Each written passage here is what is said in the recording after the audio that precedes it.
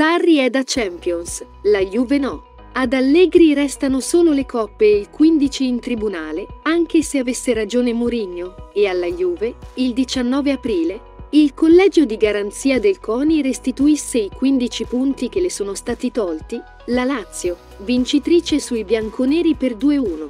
È ormai designata ad entrare in Champions League in forza dei risultati e del gioco che li accompagnano.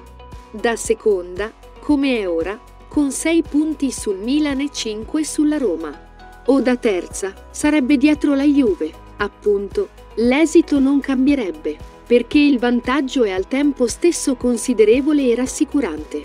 In più c'è la qualità della manovra e la duttilità dei singoli a fare la differenza.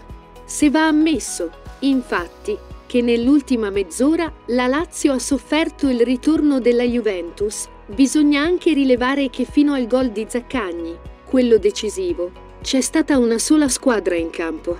La Lazio, lo sanno tutti, è un collettivo che abbina la solidità alla qualità, la capacità di un palleggio fitto e, a volte, sublime, alla saldezza difensiva.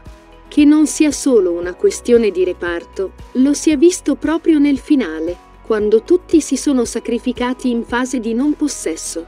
Successo meritato, dunque, anche se la Juve, dopo i cambi effettuati da Landucci, Allegri è rimasto a Torino con l'influenza, è piaciuta molto e, forse, ha trovato un nuovo modo di stare in campo che potrebbe esserle utile in Italia e, magari, in Europa League. Purtroppo per la Juve, non avere un centravanti all'altezza sta diventando un grande problema.